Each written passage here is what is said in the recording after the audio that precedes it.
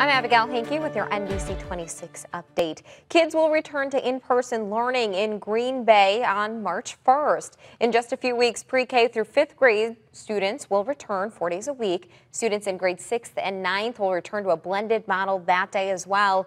Students in grades 7th, 8th, and 10th through 12th will also begin a blended instructional model, but one week later on March 8th. Now you can find all this information on NBC26.com.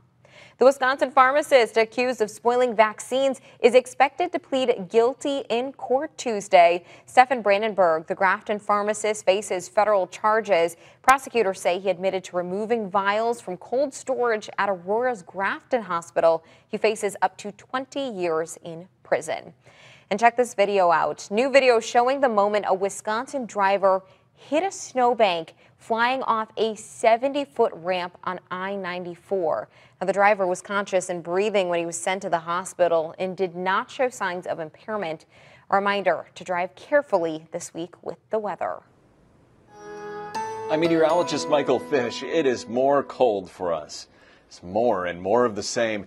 Uh, wind chills not improving much as we head into our afternoon here. It's still single digits below zero. That's probably the best we're going to get. It's something though.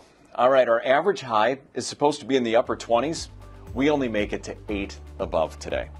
As far as tonight, maybe not quite as cold as it was last night, 8 below. It's still very cold. And then as far as tomorrow is concerned, still more of the same for us, an 8. Now, for the rest of the week, look at, I mean, it's day after day after day of this cold. Uh, every night going below zero. And it looks like we have two chances of a little dusting of snow uh, Thursday night again on Saturday. Not a lot of snow, but a lot of cold.